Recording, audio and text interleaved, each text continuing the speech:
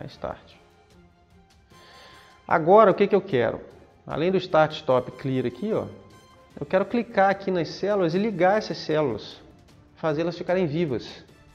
O que, que eu preciso para isso? Bom, eu preciso colocar alguém escutando o mouse. O mouse, ó, quando você clicar aqui, ó, você liga a célula para mim. Como é que a gente faz isso? A gente tem um negócio chamado Listener, que nós vamos ligar no Canvas.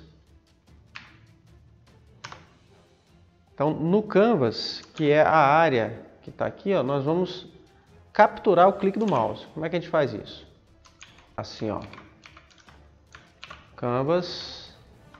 Aí o objeto Canvas que está lá dentro, que a gente conhece.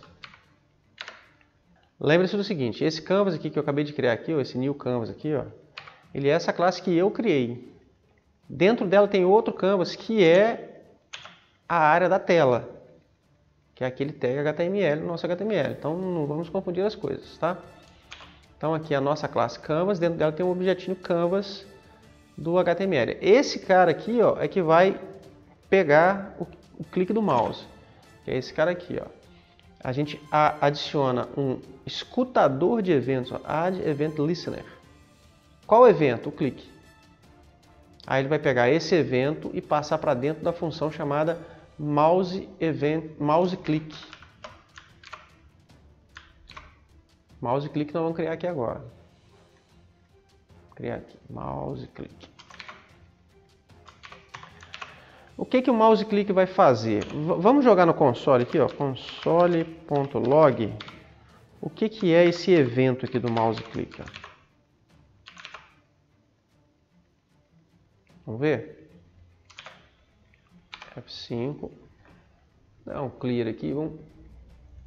F12 aqui. Mouse Events aqui, ó. Ele é um mouse event. O que, que tem no mouse event? É um monte de coisa. Inclusive, a informação importante que nos interessa aqui é esse aqui, ó. Layer X e Layer Y, que é a posição XY que o mouse tocou aqui, ó.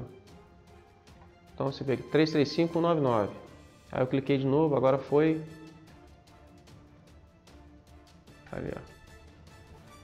Layer 380, 203. Tem várias coordenadas nesse evento do mouse.